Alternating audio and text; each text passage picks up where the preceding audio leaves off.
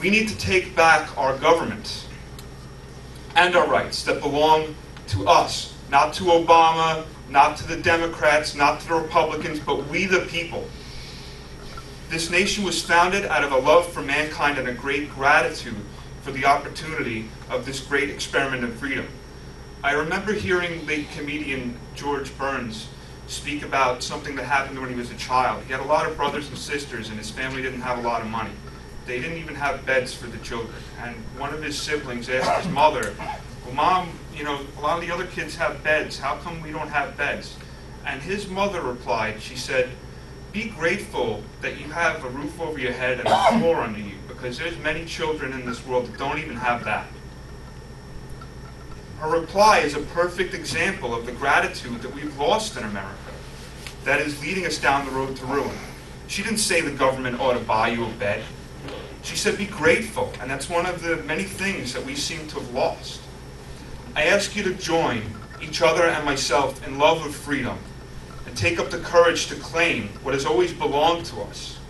I ask you to have love for me and help me as I have love for all of you and pledge to help you to ignite our rights to save America and our Constitution while we still can. We need to start holding the government and the private sector accountable to us. Two events have set this stage for the American people to make a choice to reclaim freedom recently. The first being the attacks on 9 11, an event that may not have happened had our federal air marshals program not been interrupted without any private security supplement. And yet nobody in our government or the private sector has been held accountable to even something as simple as a gross criminal negligence charge. Instead, we have lost much of our liberty to an increasingly reckless government that, our, while our public is not the least bit more safe as a result. We don't need a war in Iraq. And don't get me wrong, I love our troops and I support them with my whole heart. We don't need a war in Afghanistan. We don't need a war in Iran. We don't need a war on drugs or terror. We need a war on fear and tyranny in America.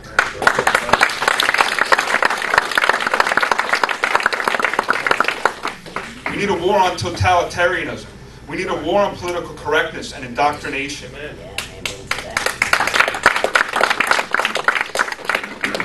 We need to win these ideological cold wars to usher in a new renaissance of freedom that will be like a cleansing pure water for a nation and a world that could not be any more dangerously close to being turned into a burning heap of a new dark ages, a world worth, not worth living in anymore.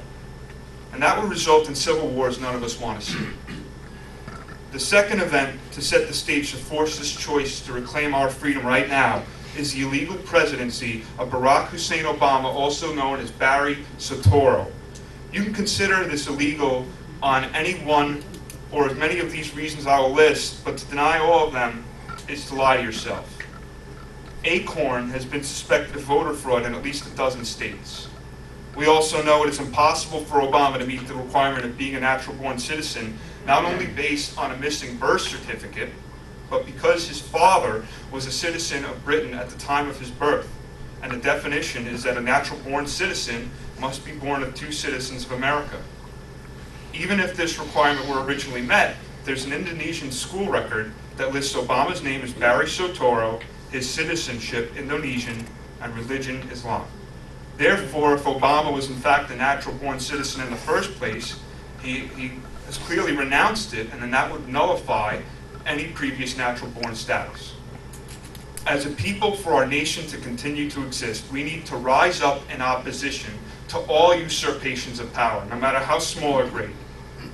I ask of all of you to stand up and fight to regain our monetary system that has been usurped, our civil liberties that have been usurped, our free markets, our Oval Office, our educational system, our country, our Constitution, our respect for life, liberty, and the pursuit of happiness, and the heart, of soul, heart and soul of America. In closing, I would like to share with you something that I shared with the whole country on live TV before on October 8th, 2009, when this campaign to ignite our rights first got national attention after this famous or infamous picture, depending on who you are, was taken. I was on Your World with Neil Cavuto that day, and I read a comment from the incumbent in this race that was in a Newsday article that featured this picture of me raging at him for disrespecting our people and our Constitution at the town hall meeting on the health care bill. The comment from incumbent Steve Israel read, I'm not going to draw any sands, lines in the sand on this issue. I'm not going to vote against 60% of what I want because I can't get the 40%, the other 40% of what I want. There is no perfection. I read these quotes on Fox News Channel Live, and I told Neil Cavuto that I have a message for Obama and Steve Israel and the rest of this country and the rest of this world. And that message is this I am drawing a line in the sand. It's in front of myself and the Constitution and the American people. And if they think that they are going to continually cross this line in the sand, they have another thing coming.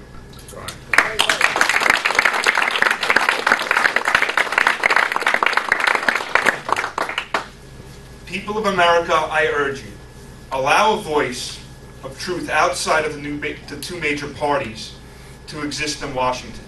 Allow some truth to shed some light on the darkness that is the two-party system. Allow a voice that is not afraid to stand up for freedom, unchained. And most importantly, allow yourselves to take America back, to show this nation and this world that the American people are mad as hell and we're not going to take it anymore.